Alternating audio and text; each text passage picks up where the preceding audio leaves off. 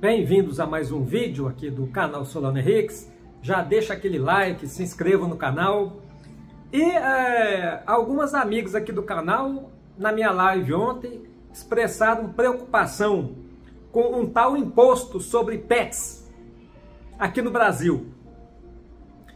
Imposto que o dono de cachorros e gatos teriam que pagar para o governo.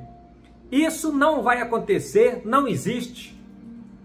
Essa é uma realidade que está longe de se concretizar no Brasil. Na Europa, vários países já estão apelando para isso cobrar imposto de donos de pets. A Alemanha, principalmente, está arrecadando uma, uma grana preta. É... Só que a Alemanha está cobrando imposto aí 180 euros pode chegar a depender da raça do animal, né?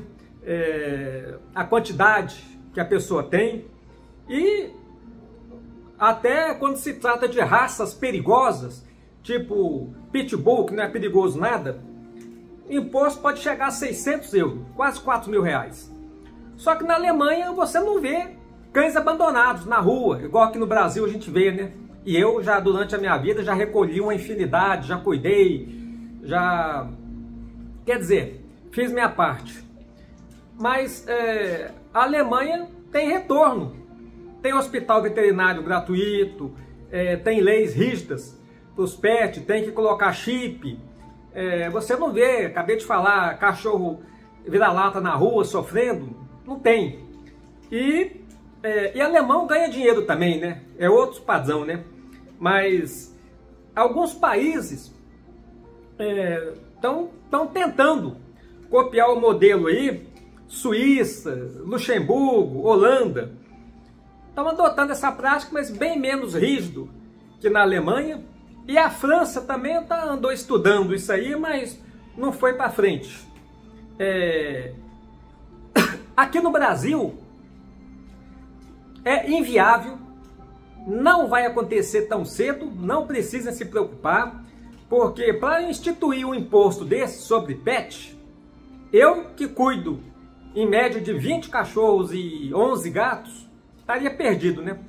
Mas aqui no Brasil, para instituir um imposto desse, o governo teria que dar alguma coisa em troca.